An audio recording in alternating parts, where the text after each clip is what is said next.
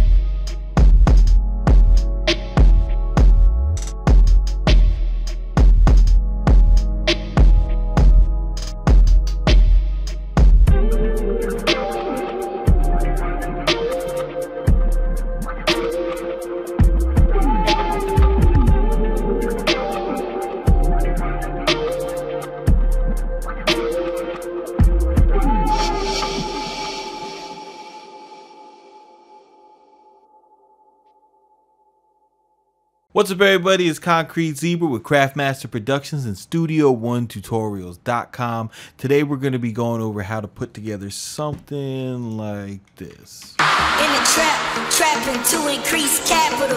In the trap, trapping to increase capital. In the trap, in the in the in the trap, trapping. In the trap, trapping to increase capital. In, in the trap,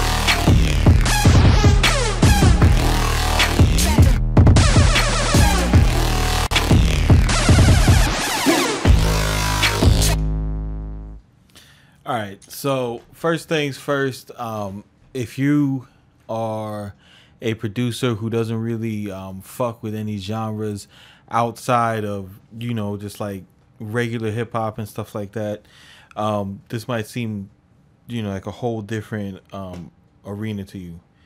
But I happen to enjoy um, like like how over the past like five or six years um, a lot of different artists have just been taking electronic music and and just and just doing whatever they want and not really conforming. So when um you know when when they started doing like trap and then putting growls in it and and and doing like EDM drop formats, I thought that shit was awesome. Um, and it's some it's something I fuck with personally, and I don't like see a lot of. I've I've never seen a tutorial about arrangement on these things, and um, so the way that the way that I put something like this together is I can't like like when I make a beat like this, I can't approach it like how I do a regular hip hop beat where it's just like, all right, you know, pretty much you build the hook and then you and then you and then you you copy and paste it and you strip away parts parts of the hook and then all the sounds play during the hook and that's your beat. This this is this is a little was a lot different. Um so what i like to do is i like to enable the arranger and that's uh that's this button right here and when you open the arranger what what that does is it gives you the ability to be in to be in this this top track up here you can go ahead and double click a section and then drag it out. So say I wanted to make this section here, right? You can right click on it and then double click here and rename it. So you could call this, you know, hook one or whatever. It gives you the ability to change the color of that section. Then say if if say I wanted uh you know drop four to come before drop three rather than rather than highlight everything and miss something you just stick it over oh my god that's not what i wanted to do you just stick it over here and it'll and boom it's it's there and if you don't like the way that sounds then you could drop it over here so it's a really powerful feature that gives you the option of moving stuff around really quick and efficiently. Now, the way that I lay the stuff out, also when um, when you're in inspect, you can also hit I and then bring up this section right here, and you know do the same thing. Move sections around, you know.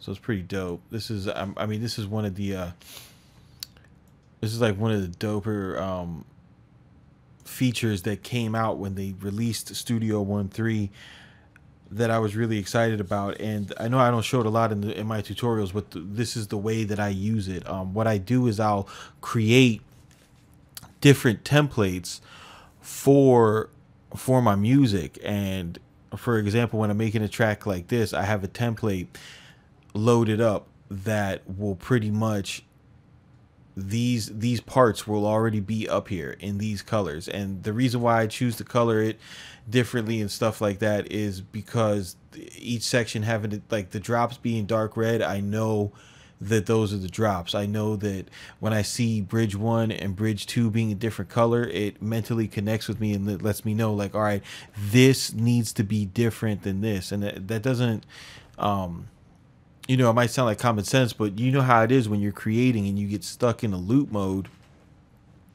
Sometimes you need to remind yourself. So what this does for me personally is it gives my is it gives me a sense of organization. Like where I might start is I might start with building. I'll either start with building drop one or drop two. Like the the way that my mind goes about uh, doing, you know, this for for my particular style is during my first drop I will have more um of a of a of a more of like a traditional trap sound with you know with plucks and horns um synths and stuff like that. But when it comes to drop 2 that's where I take kind of this this uh melody and um, harmonic bass that I've created here, and then I flip it to to a more aggressive, um, growly screechy type of bass synth or um you know a different vocal chop melody or something. So it's gonna be it's gonna be something like what i did here which which would be something that would work for a rap song and then boom drop it into you know drop it into something just a lot you know more far out and left field and i'm just trying to be as creative as possible here um once i've created these two sections then i'll go ahead and I'll say, okay, but like by this point, I, I will have a melody and everything. So I'll say, okay, here's here's my intro melody. You know what I'm saying? I'm gonna do that. Um, I'm gonna I'm gonna add a bass down here. I'm gonna I, I'm gonna need to find a couple risers. And the way that the way that this works is, you have um this this uh these songs they follow a, a specific type of energy signature um, I've created an energy curve for this one, right? So the way that the way that I kind of lay these out is I'll start with, you know, I'll start with my intro. It'll have a riser in it. Once it gets, you know, uh, once I get to the to halfway through this this intro halfway through this riser piece i'm gonna have some type of percussion whether it be kick snare a four on the floor clap or you know something like that. Then once i once i get past that part i'm gonna i'm gonna suck the energy back out. I'm gonna remove the percussion. I'm gonna add like an impact so you know like you know like an impact that's like bah, and it's gonna let you know okay this is a different part of the song I'm going to keep all the same melodic elements, but the trick that I use to get this um this energy to to pump back up is I'll is I'll go on my on my main bus um put like um, the uh, sound shifter plugin from Waves, automate the semitones, and then and then push it up two octaves. So the whole um, the whole master bus track goes up two octaves, and that's what and that's what kind of treats this section as a um, as a total riser. When you do that, you're you're you're creating it's it's a it's like a double tension and release which is which is a which is a, pretty advanced technique in, in arrangement. Because you know like when you're when you're trying to create attention like you might put a drop on your last snare and then it comes back and all the sounds come in. And mentally you're relieved when you hear that next part is because you were set up for that. Um, working with working with this type of this type of music like when you're doing hybrid trap the whole um, you know and like festival type of music the whole point is to create multiple points of tension and release. I mean, you're the people that that you're um, targeting this music to is drug people, man. You know what I'm saying? It's people who are who are high as fuck that want to just feel an amazing experience, you know, and they're and they're super zoned out. So when you get um when when they're in an altered state of of you know of, of consciousness and then they're used to their regular um, format of music and you can go ahead and take that format but instead of you know instead of instead of giving them um, you know the satisfaction of putting the drop here you add another point of tension. Now you're kind of throwing them off and then when they get the drop that's how you get that reaction of like whoa bro you just blew my mind. Because i thought the drop was coming but then it was another riser and then the drop came in sick like that's that's how that shit happens. It's it's just a matter of of you as a producer because the people who are the, the the people who are creating this stuff they're not high when they're creating it. It is extremely hard to be efficient and arrange at a high level um you know if you're intoxicated. And uh you know if you know if, if you read about you know any of the best people in this genre you'll see like it's it's a completely different per, it's a completely different perspective than what you might imagine them you know especially especially if y'all are festival people like y'all already know you know what i'm saying if you've been you know if you're from miami and you you fuck with ultra you know what i mean or, you, or you're in like you, you go out to vegas you're in Orlando, you know, or up or or you know, you've been to like a, de- a mad decent block party or some shit like that. Like you know, bro.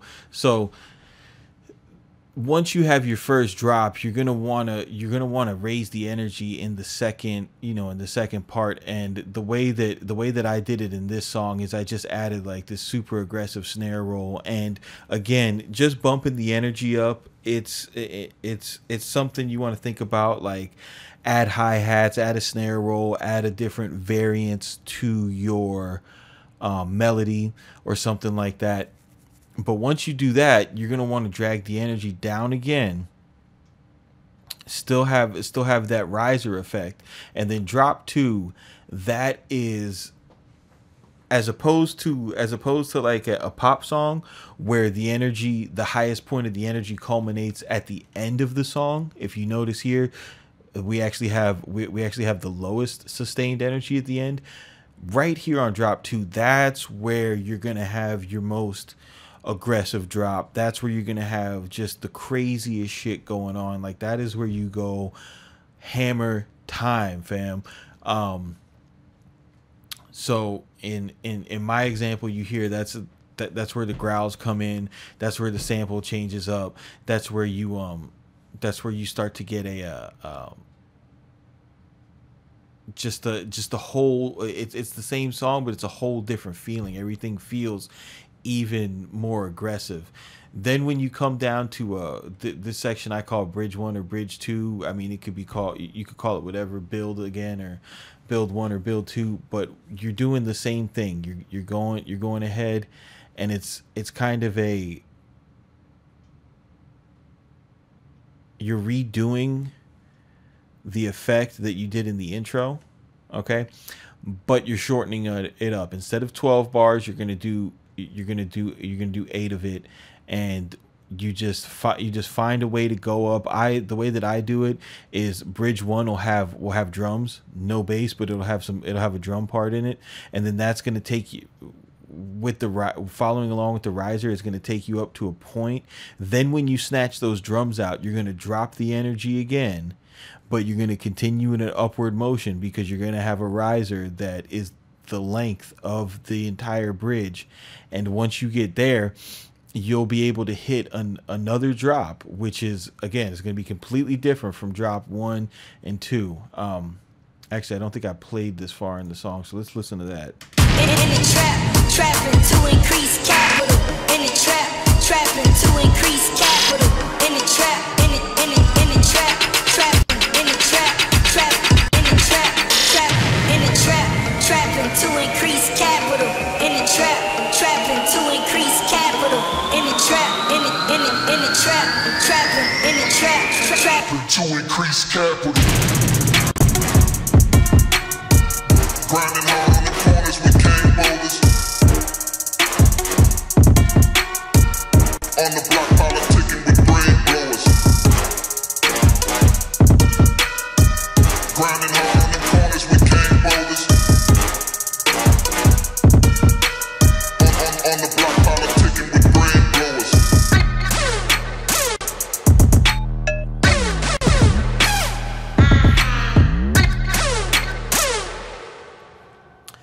See, so for for drops three and four, it's the same idea of drop one and two, where drop three you'll have more of the traditional trap instruments, and then drop four, you go back into your synths, and that's and that's really kind of uh, kind of how my whole theme plays out um, for this type of vibe. Uh, just just just being more of a hip hop producer, you know, I'm I'm not really. Uh, you know really big on like on, on like programming these sidechain synths and doing um a lot of a lot of different um intricate vocal leads and things of that nature so the point I'm getting at is it, it's complete. You can inject your own style into this format if it's if it's something that you're interested in doing because it it it'll open up um, opportunities for you